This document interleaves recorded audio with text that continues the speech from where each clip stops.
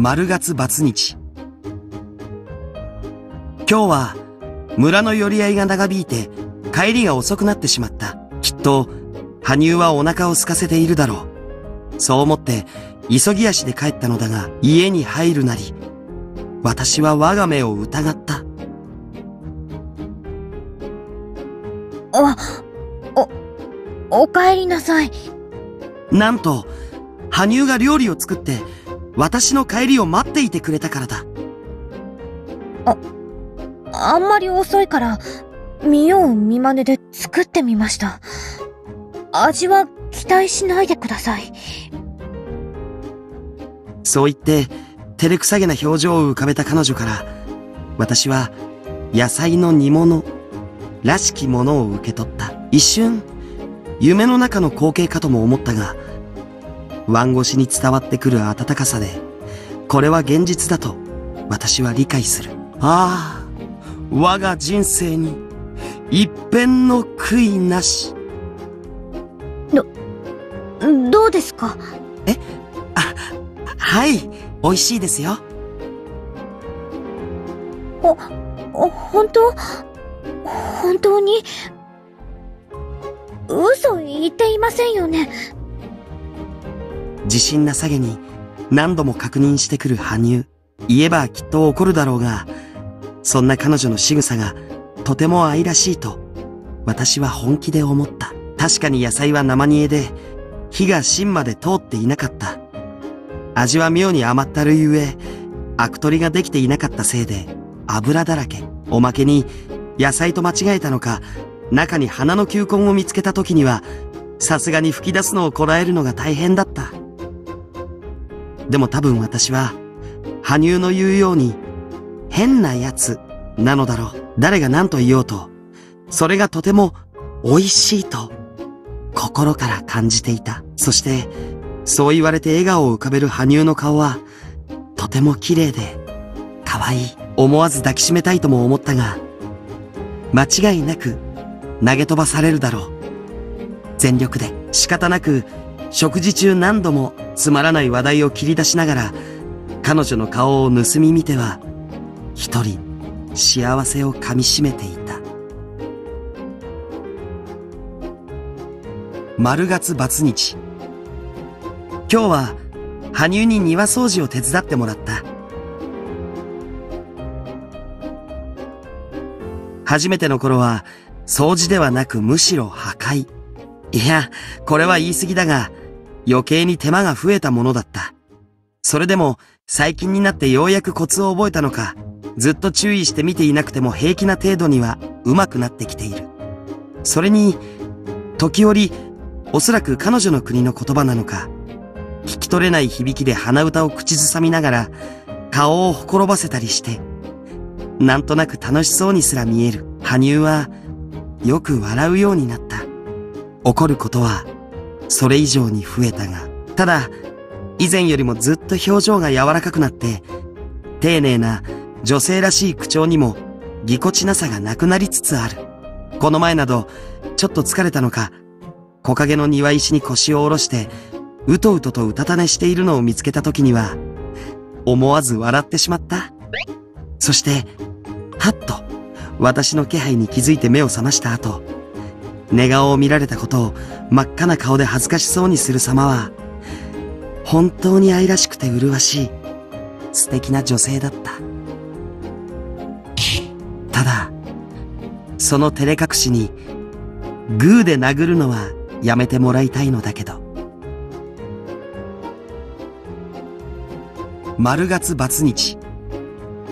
ついに、かねてよりの計画を実行に移す時が来た。まずは、軽く興味を引かせるため、さりげなく彼女の部屋に、巫女服、かっこ、袴の丈は膝より気持ち程度上を置いておく。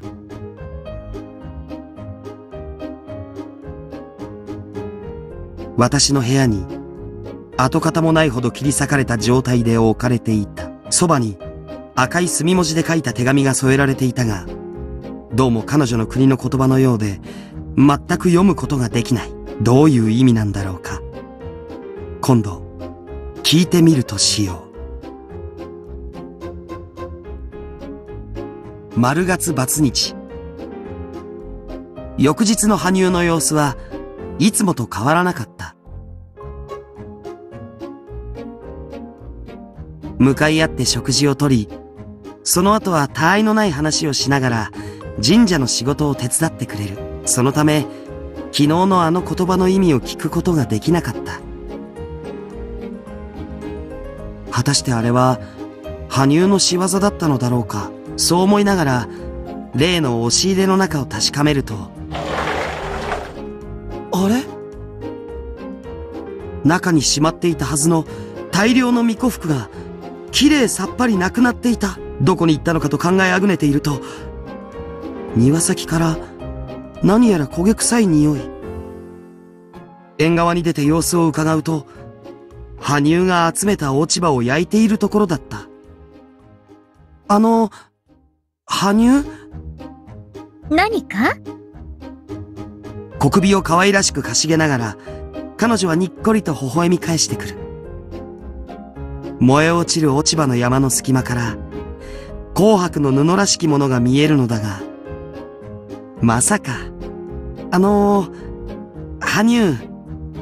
何か？にっこりと微笑む羽生。でも、その目は全然笑っていなかった。丸月バツ日。やはり、こういうことはちゃんとお願いしてこそ、意図が伝わるものだと思い直して、原点に戻る。そこで誠意を込めるつもりで、床下の倉庫にしまっておいた前のものとは違う巫女服、かっこ布地は若干透けた薄いものを羽生に手ずから差し出した。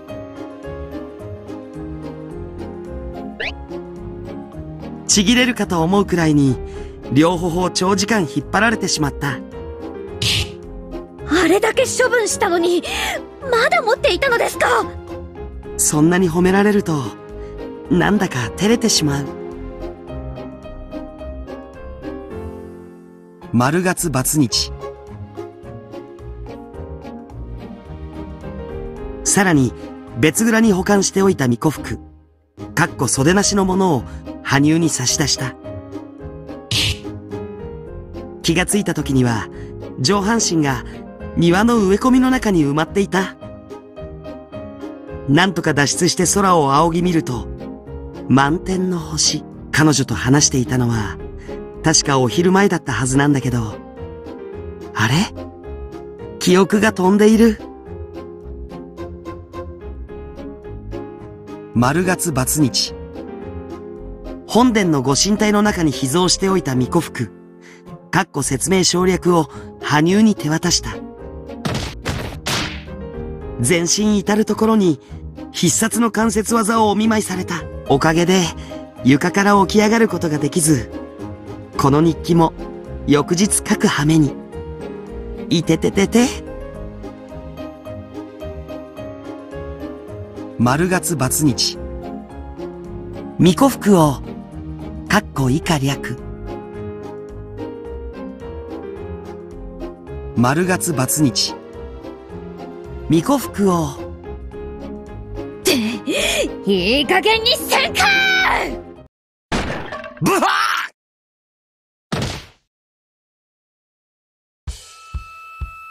もう、何度も何度も何度もしつこい！私は、そんな服絶対に着ないと、一体どれだけ聞けばわかるのですか？い、いや何度も進めていれば、ひょっとしたらいつか、気の迷いで巫女服を着てもいいかな？と考えてくれるかもしれないと思いまして。今、迷いって言った？気の迷いって言いましたよね？ということはあなた、これまで私に勧めてきた衣服が、まともな常識から外れた着物だって分かってるな？それでもなお着せようとするのは、むしろ嫌がらせがしたいってことか！そんなことはありません。私があなたに嫌な思いをさせるなど、太陽が西から昇ってもありえないことです。やっているじゃないですか現に今、ここ、こういうことでそれは違いますよ、羽生。文化の違いには誰しも最初は苦しみ、不安と戸惑いを嫌悪と錯覚してしまうものなのです。でも大丈夫一度それを乗り越えさえすれば、と気持ちよくなれますよ。私が保証します。信用できるか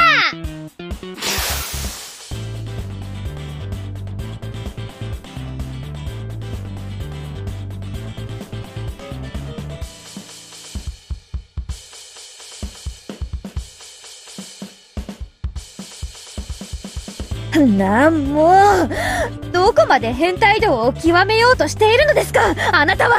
さすがに呆れて物が言えませんよ。言ってますよ。うるさい。そもそも、あなたは私に対しての態度と、他の村人に対しての態度が真逆すぎます。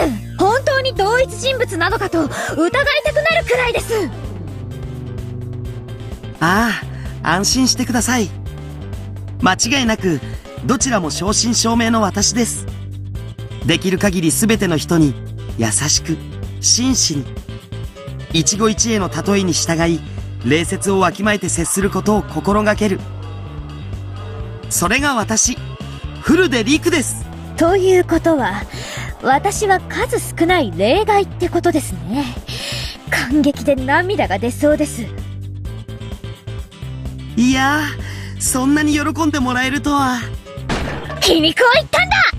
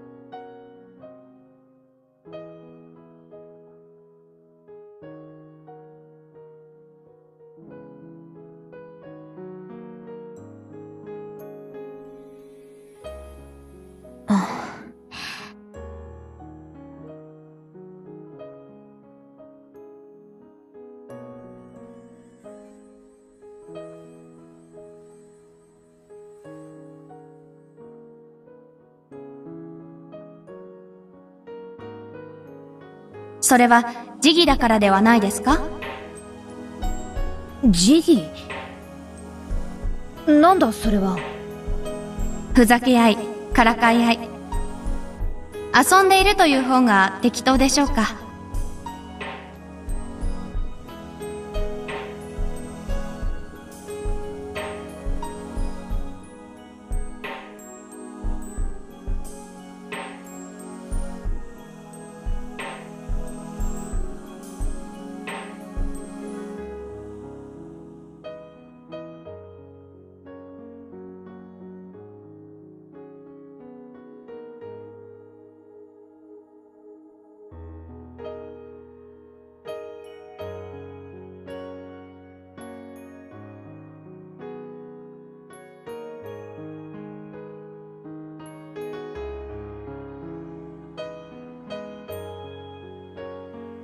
でも、今は違う。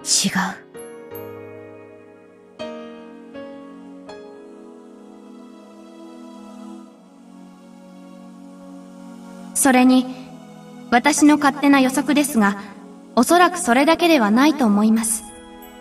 え？きっとあなたは、その、リクという人のことを、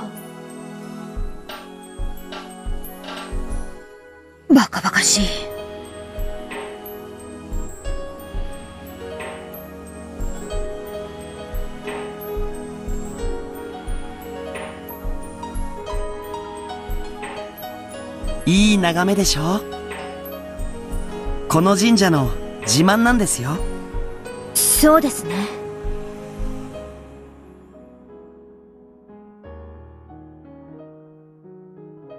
あれだけ大騒ぎしたのに、いい気なものだ。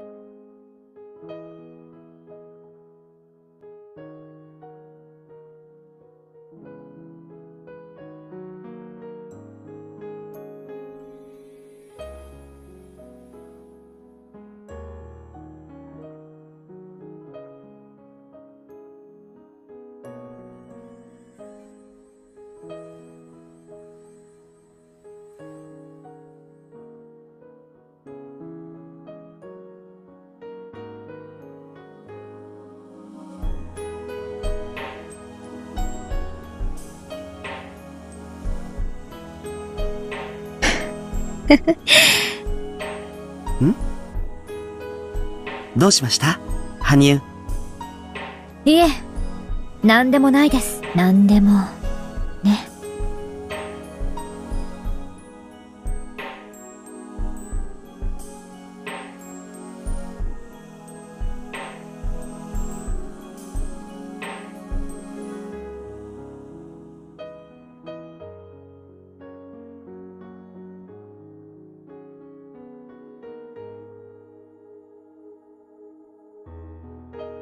この神社での登竜も、もう随分長い期間になりました。そうですか？私にとってはあっという間で、あなたと会ったのが、まるで昨日のことのようにも思えます。あなたたち人間の体感では、3ヶ月は、それなりの長さではないのですか？確かにその通りなんですが、毎日が楽しさで満ち足りていたせいか、すごく駆け足で過ぎたようにも感じるのですよ。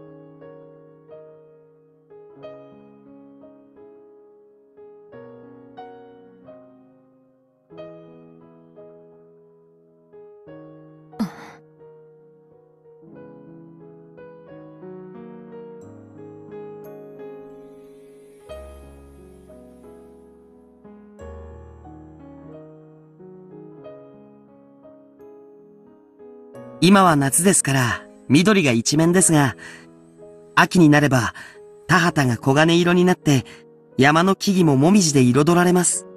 ここから見渡すと、それはもう綺麗な景色なんですよ。そうなのですか？ええ。以前の桜の花見とは少し違って、華やかというよりも、しとやかとでも言いましょうか。ここにまた村の人が集まって、賑やかな宴が開かれると思います。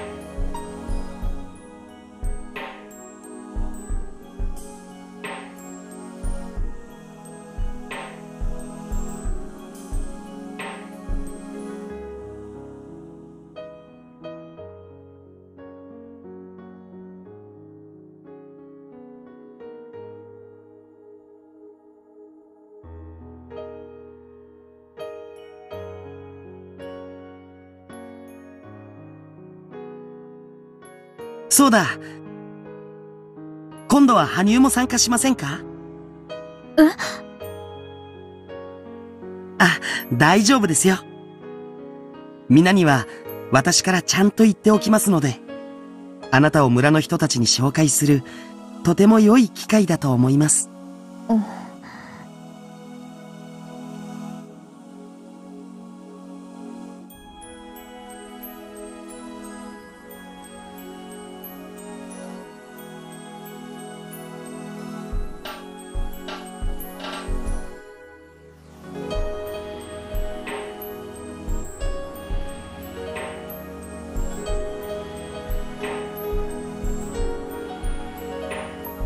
別に私は、それに、あなたにだって迷惑が。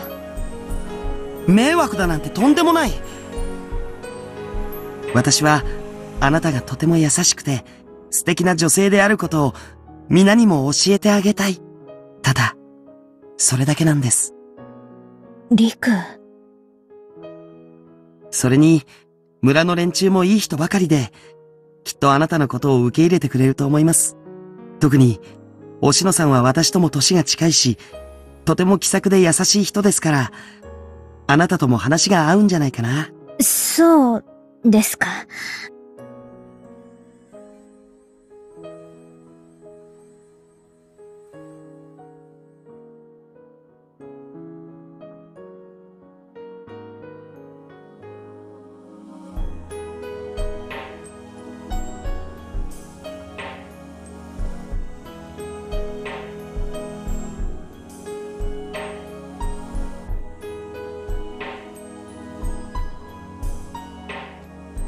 どうですか？羽生。あ、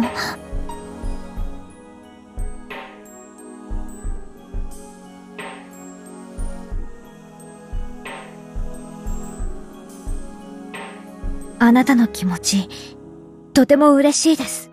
でも、約束はちょっとできないです。え？昨晩、リューンオーク、私の相棒の名前なんですが、彼女から連絡が入りました。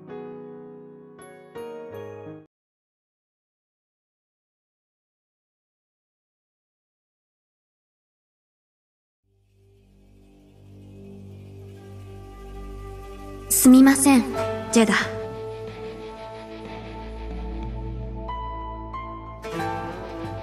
何を謝る？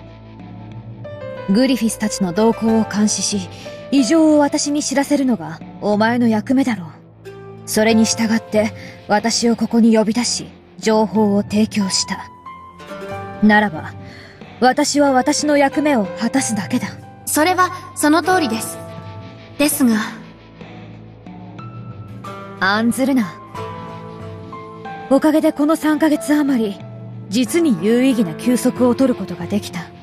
以前は疲労で、多少視野が狭くなっていたのかもしれんが、もう心配はない。大丈夫だ。ジェダ。そうだったな。お前に隠しても無意味だった。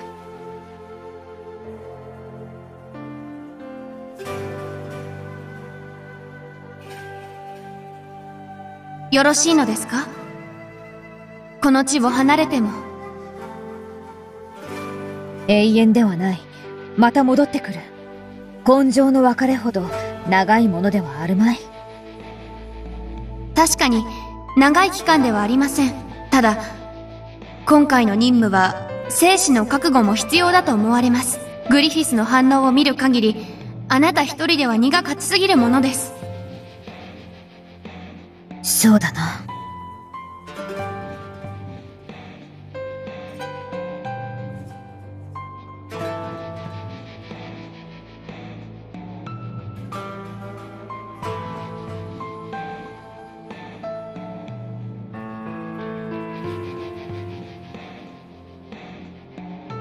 奴ら、本気で自分たちの国でも作るつもりなのか？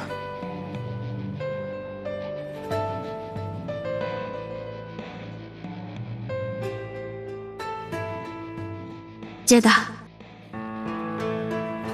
なんだ？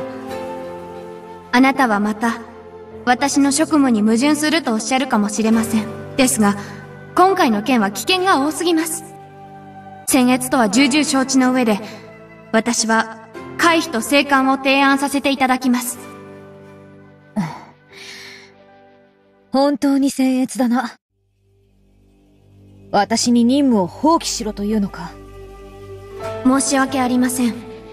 それでも、正気のない任務で命を落とすのは愚行であり、下策であると考えます。今回の一件は、義務と呼ぶにはあまりにも過酷なもの。故に、見過ごしたところで、誰もあなたを責めたりはしないと思います。グリフィスの鬼化は、確かにこの世界の人間たちにとって脅威です。ですが、もうそろそろ彼ら自身にその対処を求めても良い時期だと私は考えます。実際、竜の知識を受け継いだ同胞たちによって人間は火薬の製造手段を身につけ、鋼鉄の精錬法を見出しつつあります。強大な敵に対して知恵を駆使して対抗する。それが最終的にこの世界の発展に寄与することにつながるのではないでしょうか。武力の発展が文明を育てるか。だが、それまでに出なくてもいい犠牲が生まれ、血が流れる。長老たちと同じことを言うな、リューンウォーク。そもそもその考え方が、リューンの崩壊につながったのだと、お前が私に教えてくれたのではないか。しかし、ジェダ。もはやあなた一人のお力では、対処に限界が来ているのも確かです。そしてそれは、あなた自身も気づいていることではないのですか？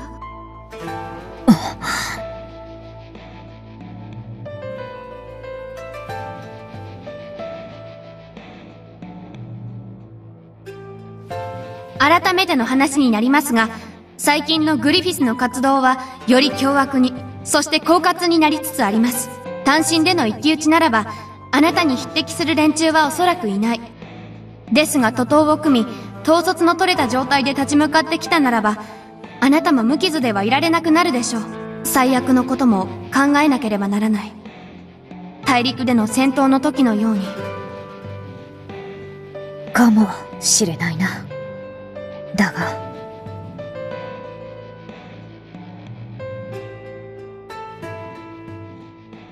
これが私の役目だ。この世界の人間たちに害悪をもたらし、同胞たちの安住の地を脅かすグリフィスを全て打ち果たす。そのためのジェダで、そのための私だ。ジェダ、本当にそうなのですか？それが本当に可能だと。あなた自身、そう信じているのですか？やめろ。それは嘘です。私にはわかります。あなたは、本当はフルでリクと。やめろと言ったあ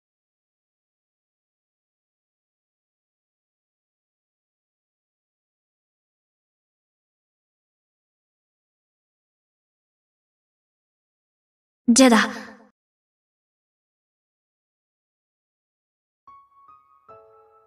すまない。どうかしているな、私は。いえ、私こそ。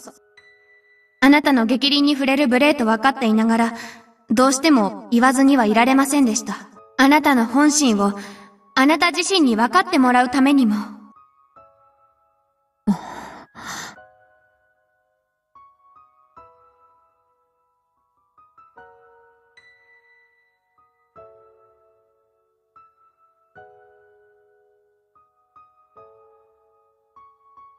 お前の言う通りだ。いずれ私にとって、それは避けて通ることができない問題だと思う。わかっている。これが終わった後、真剣に考えよう。ジェダ。何？帰ってくるさ。そう簡単に倒されてなるものか。わかりました。それでは今回、私の人格因子をあなたの件の家電結晶に移行することを提案します。ご許可を。私についてくるというのか？ずいぶん大行なことだな。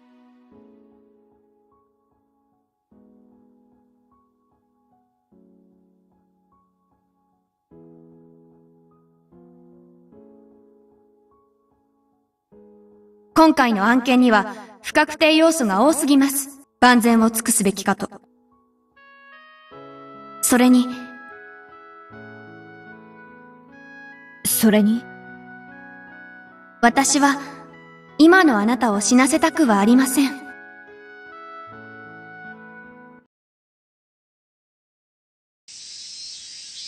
それじゃあ、あなたは、明朝、問題が発生したという現地に立ちます。それが、私の役目ですから。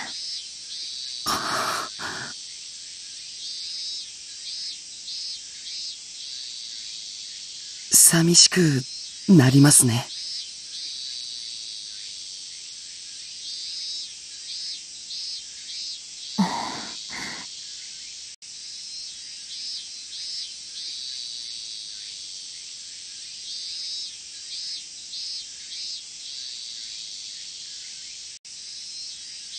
もう、戻っては来ないのですか？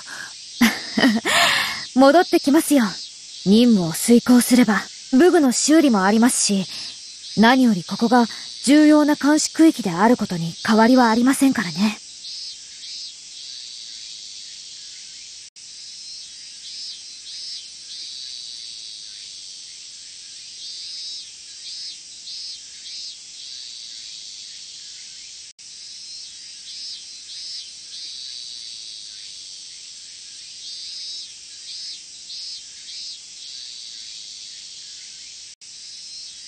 あまり無理をしないでくださいね。どうか無事に、なるだけ怪我をしないように。その願いを叶える方が無理というものですよ。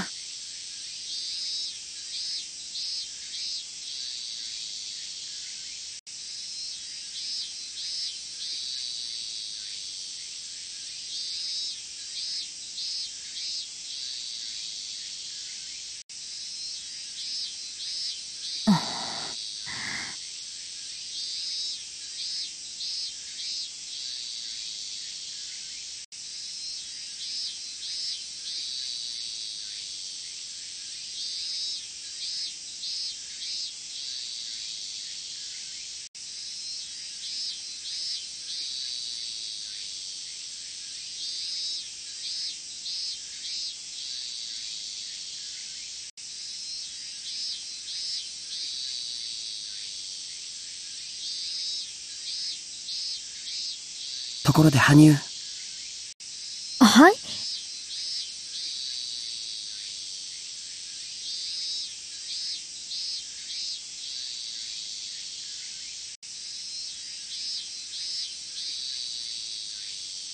以前から聞こう聞こうと思っていたことなのですが、羽生は私たちとは違う世界というか、次元の異なるところからやってきたと言っていましたよね。ええ、そうです。私はいわゆる5次元の壁を越えて、この世界へやってきました。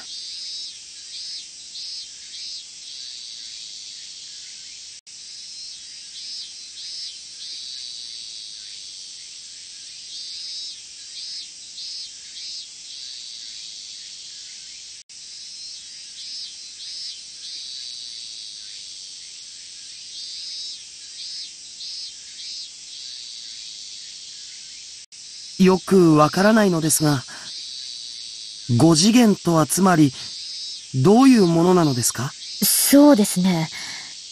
例えばこの小石が世界だとします。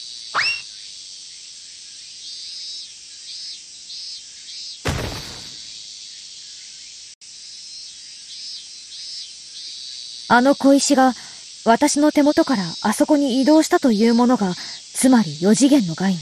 私の手元にあった過去と地面に転がった現在。そして、この後私に拾われて移動する未来。なるほど。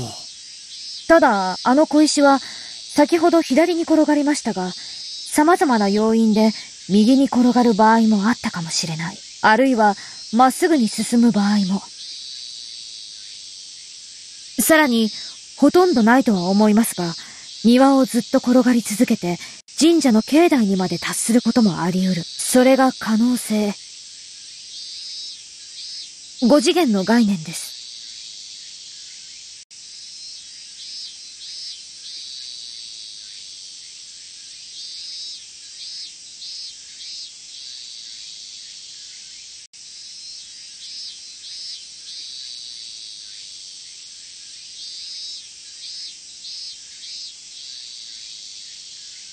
つまり羽生は、可能性の人であった、ということですか？察しの通りです。私たちは、この世界に住む人間が進化する過程で、とある分岐に差し掛かり、あなたたちが左に曲がったものを右に進んだことで生まれた人間なのです。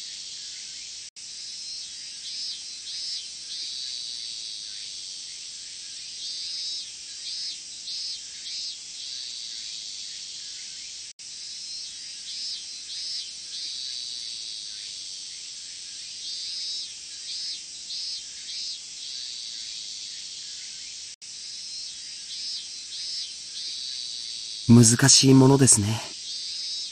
高い能力と高い文明、それらを持つあなたたちなら、私たちの世界の人間よりも、さらに繁栄して幸せに暮らしていると考えるのが普通だと思うのですが、現実は理不尽ですね。そうですね。ただ、高い能力といっても、私たちは、それを御し得るだけの何かが欠けていたのかもしれない。だから、それを使いこなすことができず、それどころか、暴走さえしてしまったのでしょう。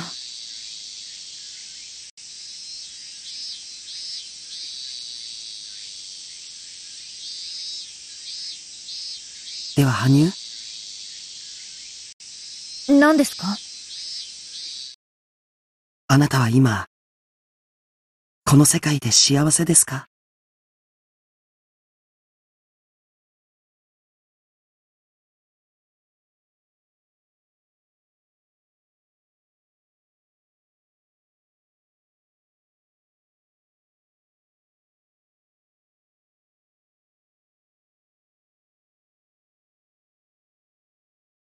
父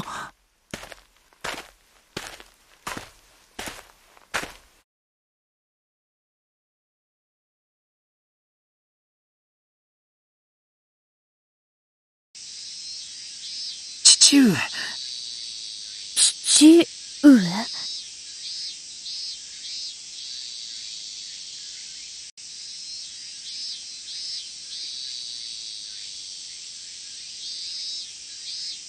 久しいな、陸。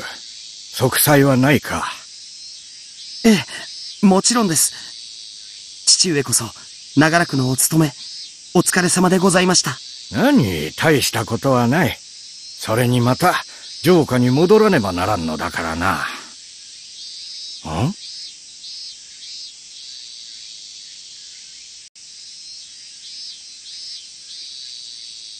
そなたは、まさかあなた。あ、いや、あなた様は。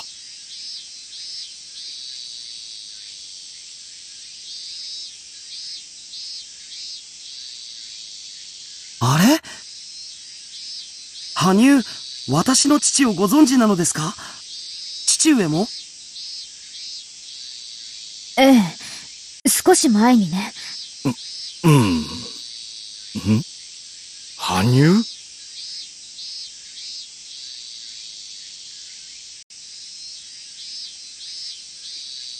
ええ。彼女の名前が呼びにくかったので、私が考えたのです。そうですよね、羽生。私は結局、許可を出した覚えはないんだが。り、陸お前、このお方をどなたと？ああ、よい。そう目くじらを立てるでない。じゃなかった。立てないでください。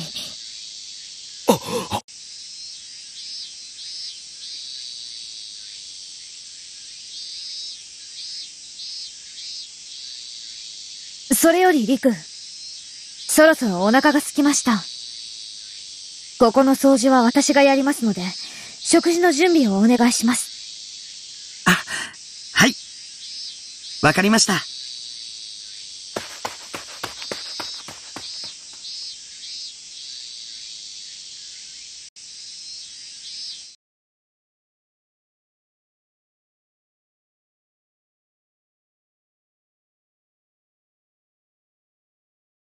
久しいな。かつてことづけを頼んだものよ。まさか、そなたがフルでの宮司とは思わなかったぞ。20年前の一件で、祭事を担うゆかりの者が皆死に絶えてしまいましたので、それで生き残った村の者に壊れる形で、私がこの神社を任されたのです。なるほどな。それにしてもそなた、少し枯れたな。年老いたと言ってもらいましたら、あなた様によって救われたこの命と託された教え、金剛よりも貴重で尊いものと思って今日までやってまいりました。ふん首相な心がけだ。そなたを見込んだ私の目は、正しかったということだな。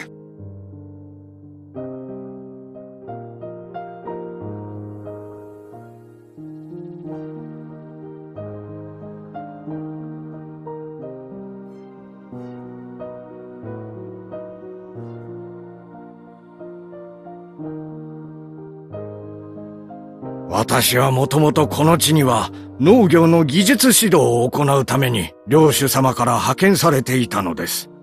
故に陸の成人と共に職を譲り、今では本来の職務に戻っております。その派遣された折に、鬼たちの被害に出くわしたというわけか。親子揃って、運がないというか、災難だったな。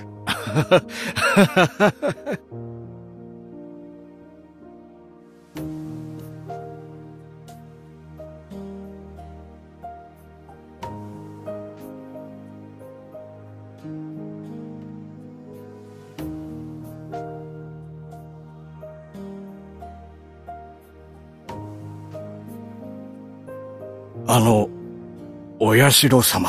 あああ、私のことか。なんだ？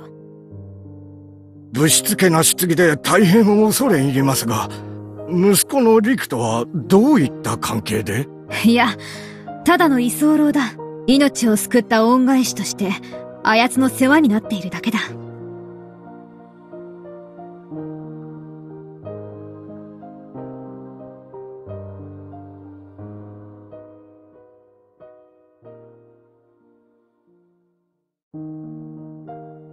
まさか。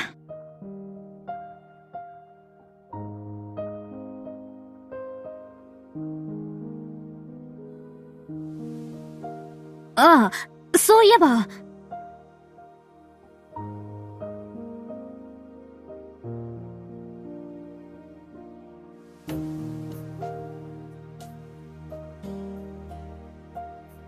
つかぬことを聞く。知っていれば教えてくれ。はい。あの時、そなたに託した赤子だが、その後、息災か？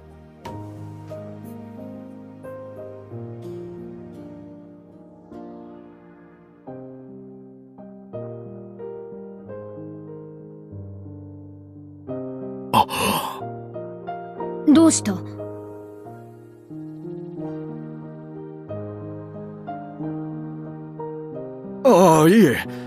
まに風邪をこじらせることもありますが、とりあえずは元気のようです。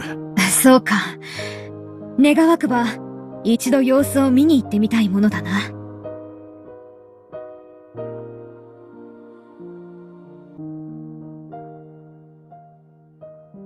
あの、お社様。その呼び方はよせ。私は、本当にお分かりにならないのですか？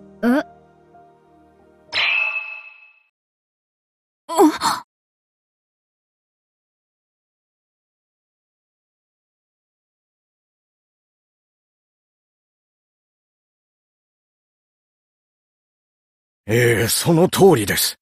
あなたが私にお預けになった子が我が息子、陸です。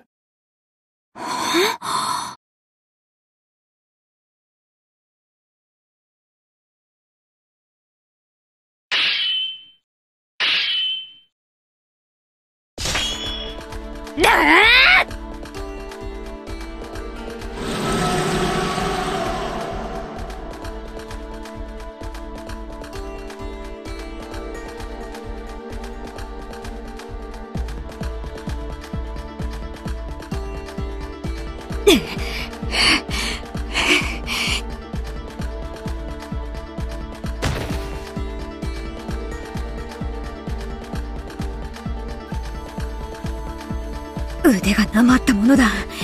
切られて気づかぬとはな。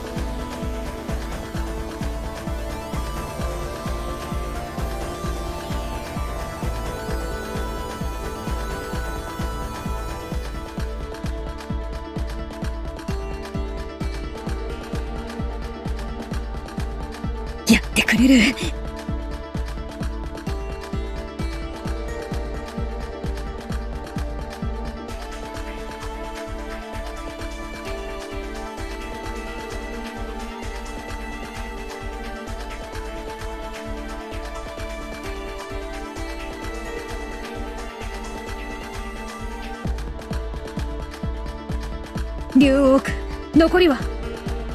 あと20、いえ、30余り。北東、南西、そして東南の三方からこちらへ押し寄せて、再び包囲しようとしています。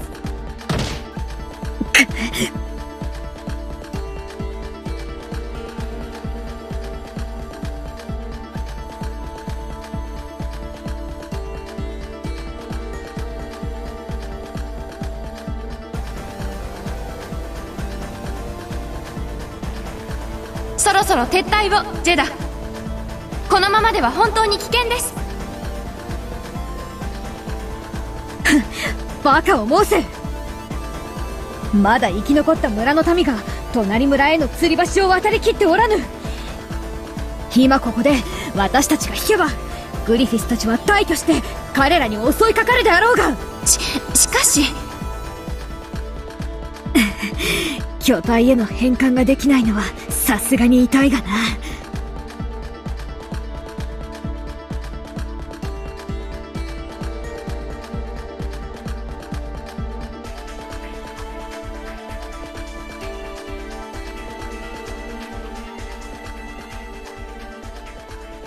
竜王区数と勢いが一番低いのはその三つのうちどれだ？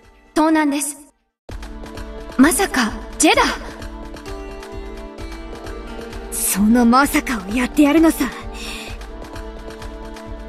周辺の紹介は任せた。状況の変化は逐一教えてくれ。戸を数えた後一気に突っ込む。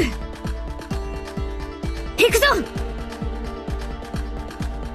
わかりました。ご分を。ああそれから竜王区はい今後私をジェダと呼ぶな。私の名は羽生だ。それ以外は聞かぬ。はあ？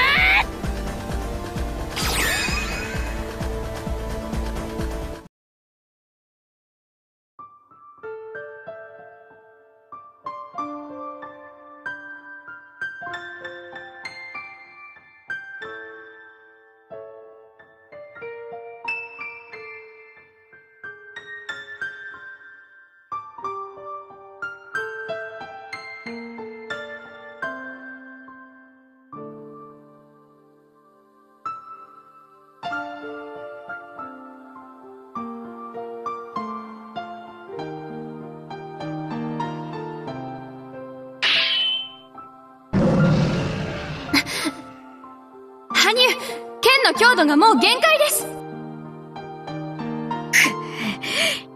竜王区相場を完全解放して一気に型をつける。き、危険すぎます。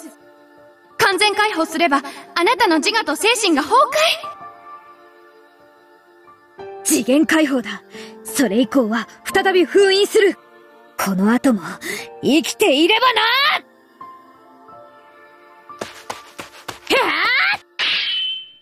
Yeah!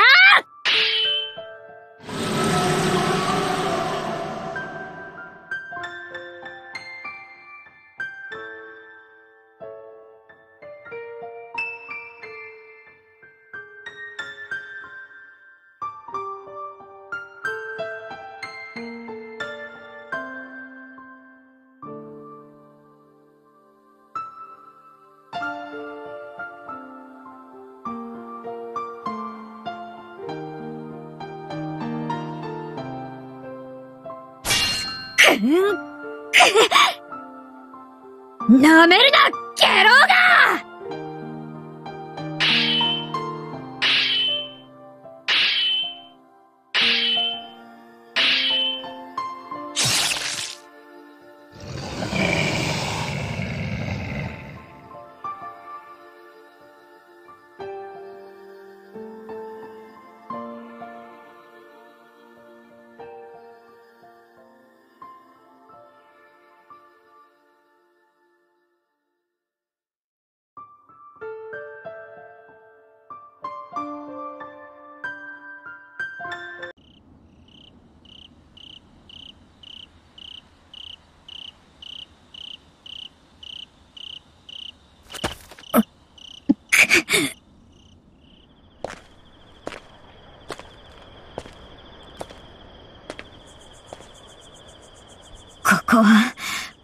んなにも長かったかな。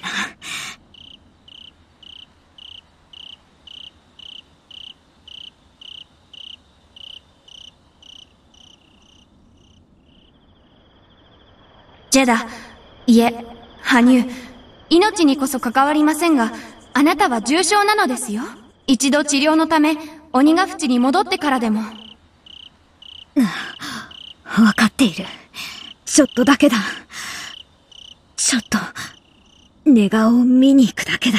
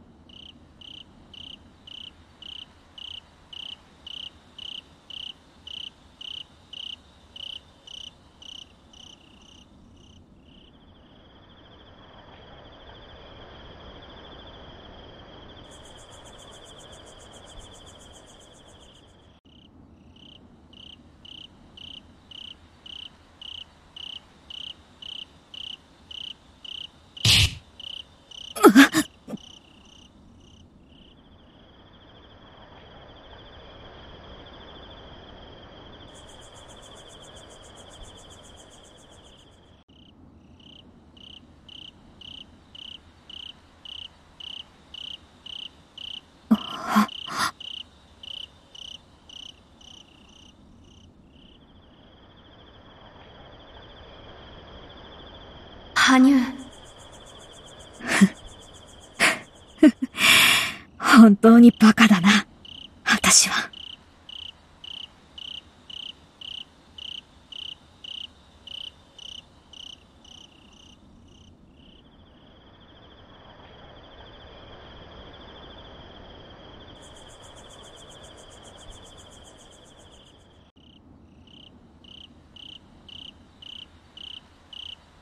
これで、この島国に救う、あらかたのグリフィスを、たせただろうか。おそらく。いえ、きっとそうだと思います。そんなはずがあるまい。嘘を覚えるとは、お前もすっかり人間のようだな。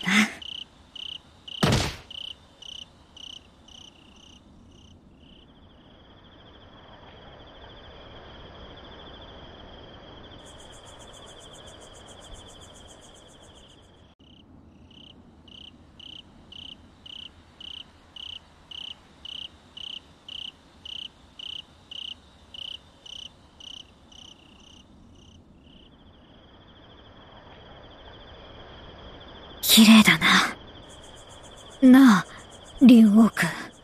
はい。なんでだろうな。ただ、恒星の光を反射しただけなのに、見ていると、こんなにも心が安らぐのは。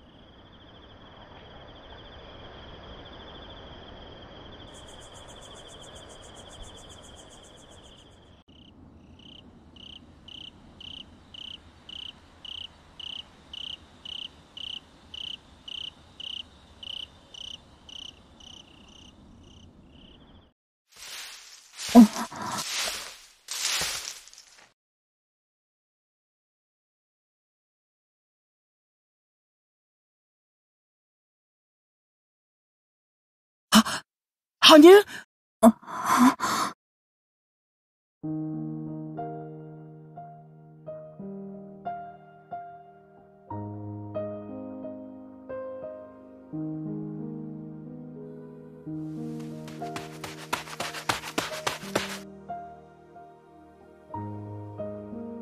リク、どうして、ここに？あ、いえ、その、羽生の声が聞こえたような気がして、それより大丈夫ですか？ひどい怪我を。ああ、大丈夫。この程度なら、デューンオークの治療で、十分回復できる。それより、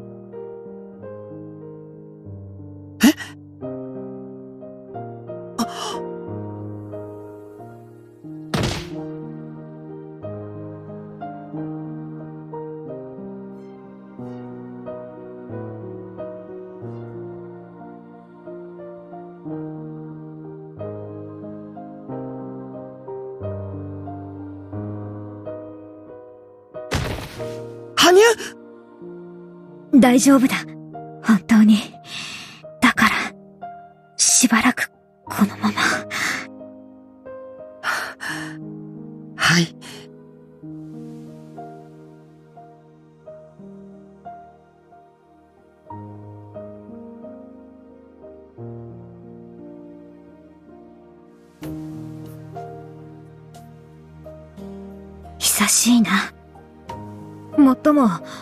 ほんの2週間程度だが。随分、長い時間でした。私たち、人間にとってはね。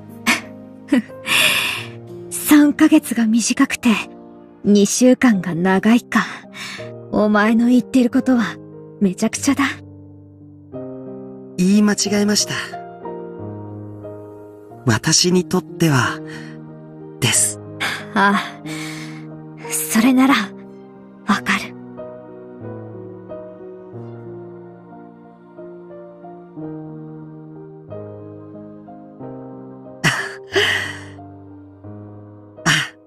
ほら、羽生。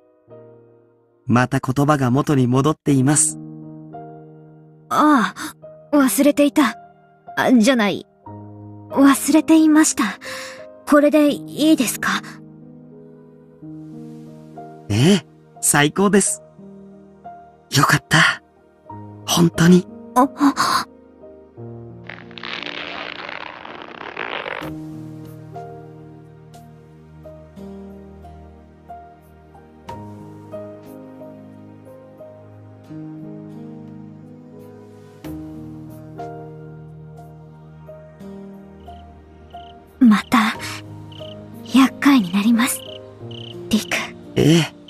てください。何日でも、何年でも。あなたの好きなだけ、ここに。